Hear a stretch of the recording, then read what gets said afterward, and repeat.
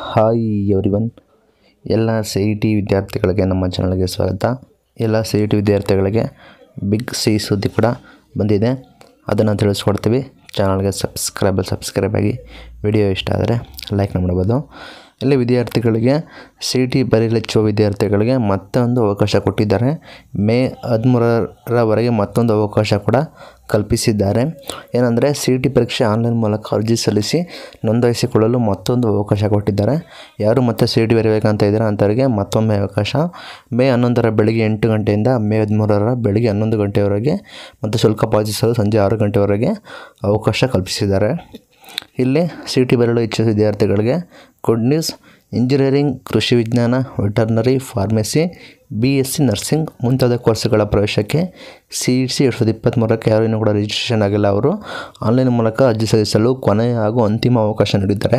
ಇದೇ final last chance ಮತ್ತೊಮ್ಮೆ ಅವಕಾಶ ನೋಡಿ ಕಲ್ಪಿಸಿದ್ದಾರೆ. ತ್ರೀ ಟಿ ಪರೀಕ್ಷೆಗೆ ಆನ್ಲೈನ್ ಮೂಲಕ ರಿಜಿಸ್ಟ್ರೇಷನ್ ಕೂಡ ಇನ್ನೂ ಯಾವುದೇ ವಿದ್ಯಾರ್ಥಿಗಳು ಮಾಡ್ಕೊಂಡಿಲ್ಲ, ಅವರು ಕೂಡ ಮಾಡ್ಕೋಬೋದು. ಯಾರು ಫೇಲ್ ಆಗಿದ್ದಾರೆ ದ್ವಿತೀಯ ಪಿ ಸಿಯಲ್ಲಿ ಅಂಥ ವಿದ್ಯಾರ್ಥಿಗಳು ಸೈನ್ಸ್ ವಿದ್ಯಾರ್ಥಿಗಳು ಕೂಡ ಅವರು ಕೂಡ ರಿಜಿಸ್ಟ್ರೇಷನ್ ಮಾಡ್ಕೋಬೋದು. ನಂತರ ನಮಗೆ ಪ್ರೊಸೆಸ್ ಕೂಡ ನೀವು ರಿಸಲ್ಟ್ ಬಂದು ಮತ್ತೆ ಪಾಸ್ ಆದ ನಂತರ ನಮಗೆ ಪ್ರೊಸೆಸ್ ಕೂಡ ಶುರು ಆಗುತ್ತೆ. ಅವರು ಕೂಡ ಇಚ್ಛೆಪಡೋರು ಮ್, ನೀವು ಬೇಕಾದ್ರೆ ರಿಜಿಸ್ಟ್ರೇಷನ್ ಕೂಡ ಮಾಡ್ಕೋಬೋದು ಇದು ಮೇಯ್ನಾಗಿ ಮೇ ಹನ್ನೊಂದನೇ ತಾರೀಕು ಬೆಳಗ್ಗೆ ಎಂಟು ಗಂಟೆಗೆ ನಿಮಗೆ ಶುರು ಆಗುತ್ತೆ. ಗ್ಯಾಪ್ ನೋಡ್ಕೊಳ್ಳಿ, ಮೇ ಹನ್ನೊಂದು ಬೆಳಗ್ಗೆ ಎಂಟು ಗಂಟೆಗೆ ಶುರು ಆಗುತ್ತೆ. ಮೇ ಹದಿಮೂರು ಬೆಳಗ್ಗೆ ಹನ್ನೊಂದು ಗಂಟೆವರೆಗೆ ಇರ್ತದೆ. ಮೇ ಹದಿಮೂರು ಬೆಳಗ್ಗೆ ಹನ್ನೊಂದು ಗಂಟೆಗೆ ಎಂಡ್ ಆಗುತ್ತೆ.